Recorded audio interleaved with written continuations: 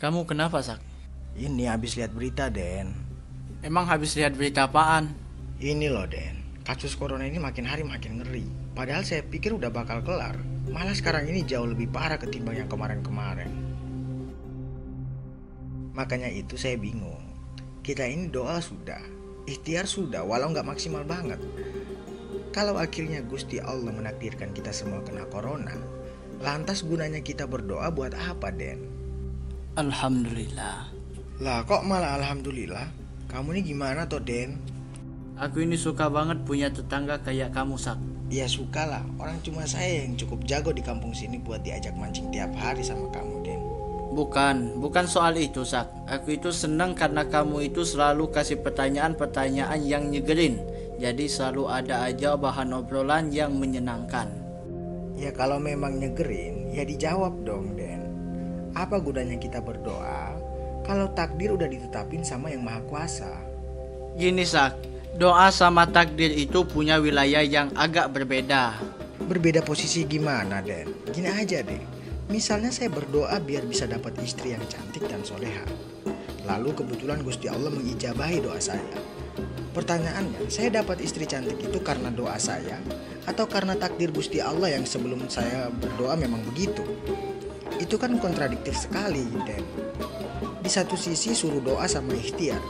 Di sisi lain, takdir kita udah ditentuin.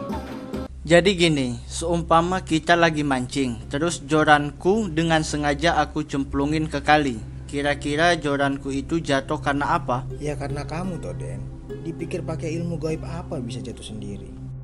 Oh, berarti joran yang jatuh pada hari itu, pada pukul itu, di tempat itu bukan karena takdir. Ya takdir juga, tapi kan lewatnya kamu, Den. Kok kamu bisa bilang takdir? Hmm. Ya karena udah terjadi, Den. Nah, itu Itu, itu apanya, Den? Kita baru bilang sesuatu disebut takdir itu setelah kejadiannya udah terlewat. Sebelum itu, manusia kayak kita belum bisa bilang itu takdir. Seperti jatuhnya joran itu. Karena udah kejadian, kita bisa dengan mantap bilang bahwa joran itu ditakdirkan jatuh. Jadi artinya, Artinya, ketika kamu bilang bahwa pada akhirnya kita semua ditakdirkan kena corona, itu adalah kalimat yang berbahaya. kok berbahaya, Den? Lah, belum kejadian kok dibilang takdir. Memangnya kamu siapa? Malaikat. Ya tapi kan bisa aja begitu takdirnya. Bisa saja memang takdir yang digariskan Tuhan kita semua kena corona. Nah, sikap kayak itu namanya sikap putus asa, Sak. Kok bisa? Soalnya kamu memakai takdir untuk menutup-nutupi rasa putus asa, pakai takdir buat menutupi rasa frustasi biar enggak kelihatan seperti orang yang putus asa atau biar kelihatan religius. Kamu mengarahkan kesalahan itu ke takdir, bukan ke kesalahan manusia sendiri. Lagian bagaimana bisa kita mengklaim sesuatu disebut takdir kalau peristiwanya aja belum komplit, belum selesai. Lah kalau orang lahir miskin lalu di tengah kehidupannya bilang bahwa menderita itu adalah takdirnya. Apa iya itu salah, Den? Ya salah. Lah kok gitu, Den? Ya karena fase kehidupannya belum selesai. Bagaimana bisa dia menyimpulkan sesuatu yang belum selesai? Sak, kehidupannya aja masih berjalan kok. Sama kayak orang kaya, merasa yakin bakal kaya selamanya, lalu sampai nggak percaya takdir, dipikir kekayaannya hadir karena kerja kerasnya sendiri. Jadi kalau orang miskin yang menyalahkan takdir itu namanya putus asa. Kalau orang kaya nggak mengimani takdir namanya tak kabur.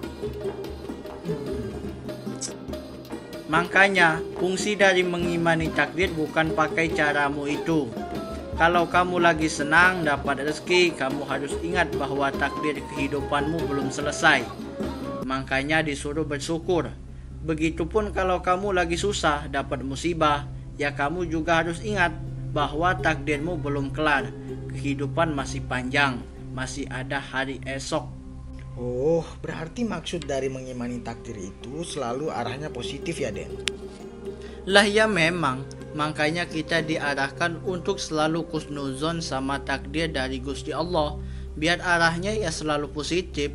Lah kalau akhirnya berakhir negatif, masuk neraka gitu misalnya. Gimana Den?